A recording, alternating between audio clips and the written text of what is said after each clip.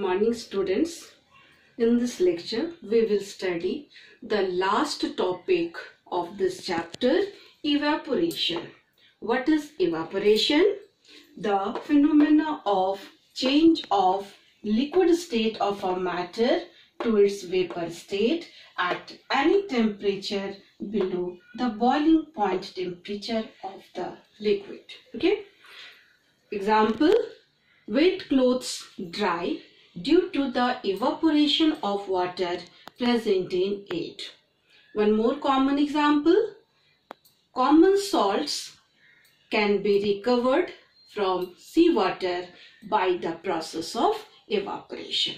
Now we will explain the process of evaporation, how it is possible to liquid molecules to change into its vapor state. As we know, the particles or molecules of liquid are not stationary and they have some kinetic energy at all temperatures. The molecules or particles of liquid are colliding with each other and exchanging their energies during the process of collisions. Due to this, some particles or molecules of liquid at the surface got sufficient energy to change their state from liquid to vapor. Okay. Now next one is evaporation causes cooling. Evaporation process causes cooling always. Why it is so? The cooling caused by evaporation is based on the fact when the liquid evaporates, it draws the latent heat of vaporization from the surroundings or anything which it touches.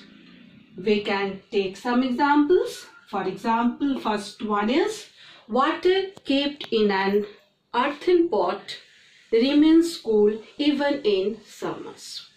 What happens? The water in an earthen pot keeps on seeping from its tiny pores and keeps on evaporating and for this process particles of liquid takes latent heat of vaporization from the pot and water inside.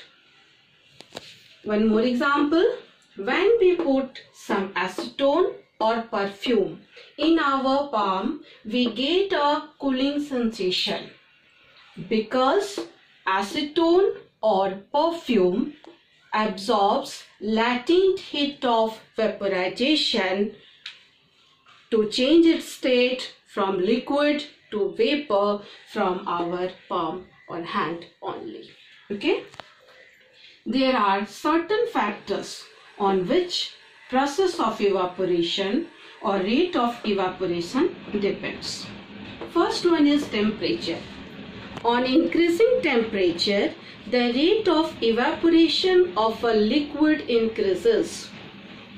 What happens? On increasing temperature, more number of particles or molecules of liquid have sufficient energy to change their state from liquid to vapor. Second is surface area. On increasing surface area, the rate of evaporation increases. On increasing surface area, what happens? More number of molecules of liquid come to the surface of it and evaporation is a surface phenomena. Therefore, rate of evaporation increases.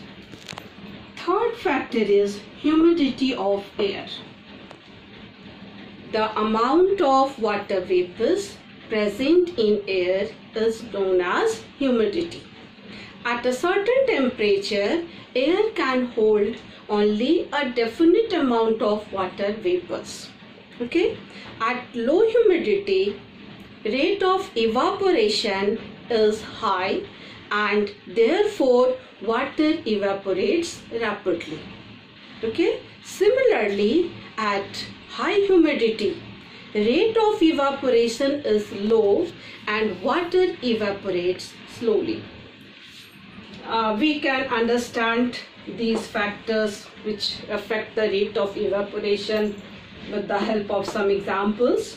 First one is a cooler is quite effective in a hot dry day. Hot and dry day. There are two conditions.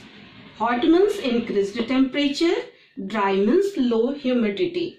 These two factors favor the process of evaporation. Evaporation takes place at a faster rate under these two conditions and therefore cooler is quite effective in a hot dry day. One more example, we can see hot tea or milk from a saucer faster than from a cup. As we know, the surface area of saucer is larger as compared to the surface area of a cup. Therefore, rate of evaporation of liquid, here tea or hot milk is given. Rate of evaporation of liquid is faster from a saucer as compared to from a cup. Okay. Therefore, it is, we can see hot tea or milk from a saucer faster than from a cup. Okay. Now, last topic related to evaporation is difference between evaporation and boiling. As we know, both these processes, evaporation as well as boiling, are the change of state of matter from liquid to vapor. But what are the differences in these processes? First one is evaporation it is the process of change of liquid into its vapor state at any temperature below the boiling point of liquid. But bo boiling, it is the process of change of liquid into its vapor state at a fixed temperature that is boiling point temperature of the liquid. Second point of difference is evaporation is a surface phenomena Evaporation takes place only from the surface of a liquid. Boiling, in this process, change of state of liquid to vapor can take place from the surface as well as from below the surface of the liquid. Next difference, third difference is evaporation process causes cooling. But evaporate in evaporation no cooling is caused. Okay? In a boiling process there is no cooling fourth difference rate of evaporation depends on many factors like temperature of liquid surface area wind speed humidity all these. And boiling process? While boiling process do not depend any on one of these factors. Okay students all of you do NCERT exercise questions answer and also inside book questions and answer in your notebook. Okay? Thank you